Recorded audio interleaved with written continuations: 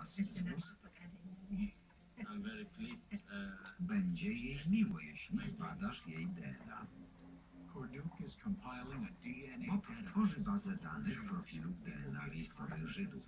Odkrycie pokrewieństwa genetycznego ze starożytnymi Lewitami może się okazać sensacją.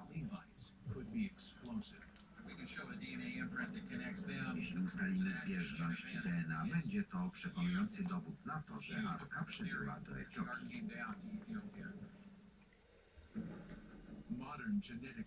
Badanie genetyczne może się okazać dla Boba podstawowym narzędziem. Tymczasem na drugim końcu świata naukowcy mogą odkryć bliższy ślad Boga w naszym DNA.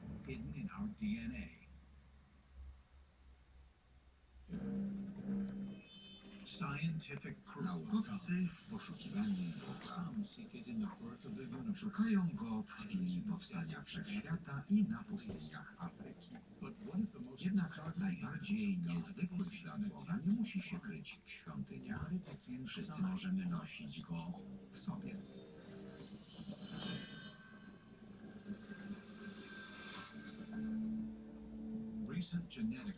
Przeprowadzono niedawno niezwykłe badanie genetyczne. Miało wyjaśnić, czy człowiek ma wbudowany mechanizm wiary. Doktor Lindhammer odkrył coś, co nazwał genem Boga. Dowód na to, że wiara w Boga, a może nawet sam Bóg, jest zapisany w naszym DNA.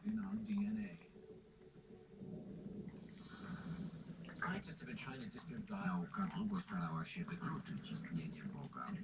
Nic nie wskazuje, by kiedykolwiek miało się to udać.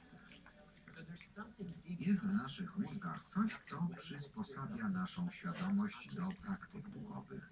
Dlatego warto zadać pytanie, czy cecha ta ma podstawy genetyczne. Hammer zajął się tym przez przypadek. Badałem rolę genów w wyznaczaniu innych osobowości oraz orientacji seksualnej. Wykorzystywałem kwestionariusz osobowości, który obejmował pytanie o autotranscendencję. Dr. Hamer nazywa autotranscendencją skłonność do dostrzegania świata duchowego w codziennego życia. Zajdzie być, kurwo chyba.